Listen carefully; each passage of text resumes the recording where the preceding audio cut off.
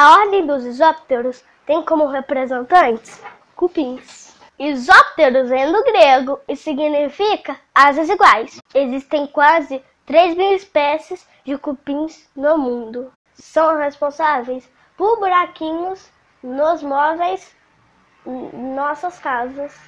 Identificamos as casas dos cupins quando passamos em pastagens e vemos aqueles montinhos de terra.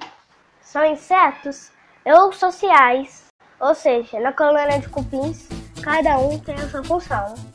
Siga a roupa Fiocência no Insta e curta a página no Facebook. Agora a vinheta.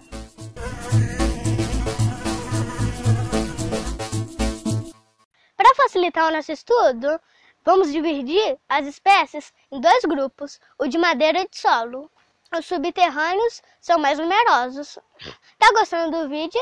Deixe seu like e se inscreva no canal. Aqueles que vivem em madeira é os que vivem em mesa, porta e algumas coisas a mais. Gostam de madeira baixa umidade.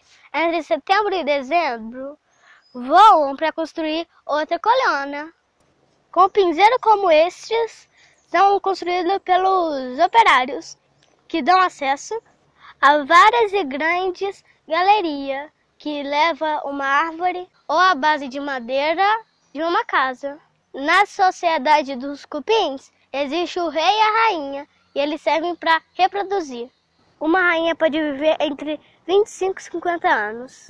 Os soldados podem ajudar os operários, mas a sua função é defender as colônias.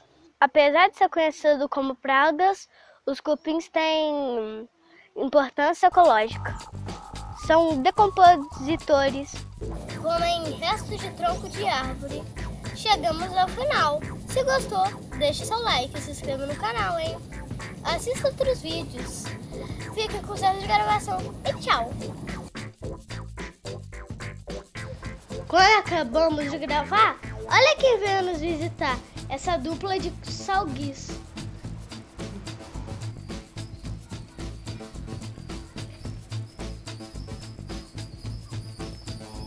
Entre setembro e dezembro, entre setembro e setembro, entre, entre dezembro e setembro, entre setembro,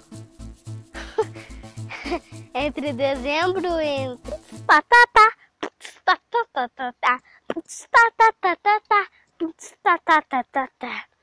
Taxiume, taxiume, troca de